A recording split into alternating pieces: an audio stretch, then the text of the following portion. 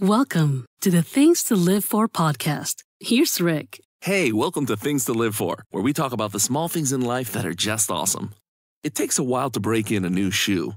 Unless you're rich, shoes are almost never custom made for you. But your older pairs already feel like they're made just for your feet. One of the best, most comfortable feelings is wearing your favorite pair of shoes. Everyone has one. It's the pair that feels like an extension of your feet. When you put them on, you almost immediately forget that you're wearing them.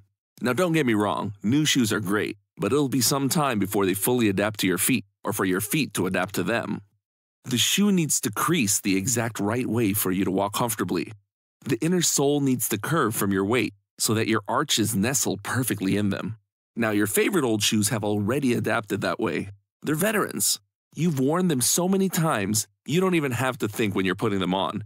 You know by heart the optimal way to slip them on quickly and easily. It's already become muscle memory.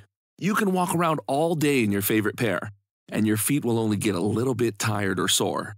Granted, they probably don't look as good as they used to, but that doesn't matter to you. What really matters is the way that they feel.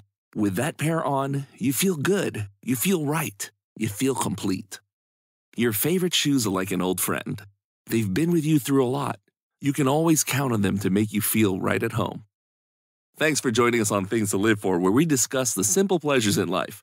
I'm Rick. Have a blessed day. For more of the Things to Live For podcast, visit thingstolivefor.com. That's things, the number two, live4.com. This edition of the Things to Live For podcast is made possible by Daryl Woodz. Check out his music and videos at darylwoodz.com. That's D A R Y L, woods with a Z.com.